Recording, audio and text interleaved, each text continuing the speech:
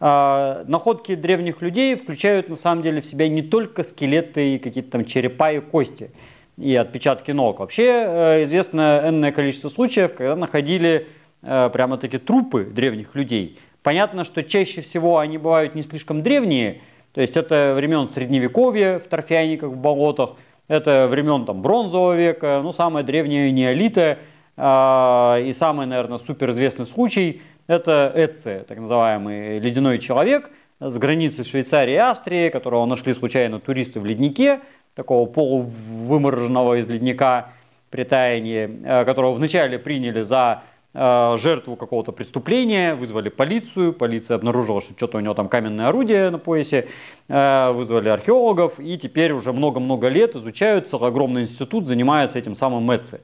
И благодаря его изучению мы знаем о времени неолита едва ли не больше, чем по всем остальным раскопкам вместе взятым. А, на самом деле, с большой вероятностью таких находок гораздо больше. А, и понятно, что это уникальные вещи, единичные, которых в принципе много быть не может, но так, даже чисто из теории вероятности, скорее всего, таких должны быть еще какое-то количество. А, в горах, в ледниках, в нашей замечательной вечной мерзлоте, которая покрыта у нас две трети страны, где-нибудь там на Аляске, и там, может быть, в пустынях засушенные, Э, в каких-то линзах э, вечной мерзлоты на Алтае, где, кстати, их, собственно, и находили тоже, э, и в каких-то вот экзотических таких местах могут быть такие же прецеденты. Другое дело, что э, надо думать, когда простой человек, идя по тайге, находит вывалившегося из стены оврага мамонта, он говорит, оба-на, мамонт. Э, ну, если человек минимально сознательный, он звонит тут же, или звонит, если кому-то больше нравится, Э, гражданам-палеонтологам, те приезжают и, значит, выкапывают этого мамонта. А когда тот же самый человек идет вдоль по следующему оврагу и видит вывалившийся труп человека, он говорит, елки-палки, труп человека. Вот. И с некоторой вероятностью он вообще никому ничего не сообщает, потому что боится, что его обвинят в убийстве. Либо э, сообщает милицию, и те говорят, нам нужен глухарь. Не, нам не нужен глухарь.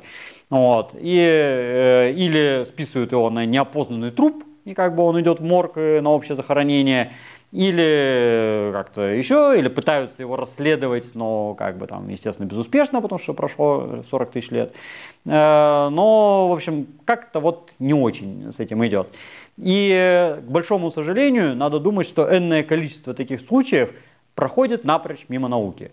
То есть э, до науки тоже свое доходит, да, и в торфяниках находили таких людей, и кто-то из них изучен, но когда это вполне очевидно, ну, не всегда это ясно с первого взгляда.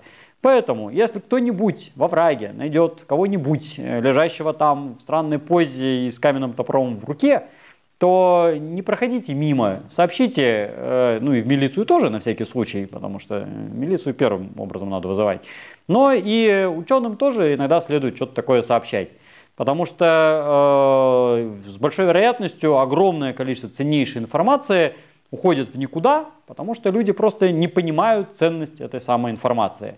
Э, не только мамонты замороженные встречаются, известны и бизоны, и зубры, и э, пещерные львы, и носороги, и лошади, и какие-то росомахи, и волки. И вот почему-то только в нашей Сибири не найдено замороженных людей. Это крайне подозрительно, потому что, ну, если есть замороженные мамонты и носороги, почему нет людей? Люди есть, сто процентов. А, только надо это дело исследовать. Надо мимо этого не проходить э, с грустным видом и не думать, что меня посадят.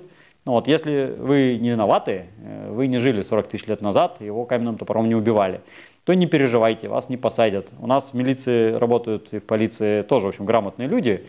Э, они разберутся, что это было 40 тысяч лет назад, а не вчера. Э, но сообщите это еще и местным археологам, палеонтологам, краеведам хотя бы. И тогда, может быть, наука обогатится огромнейшим количеством новых сведений.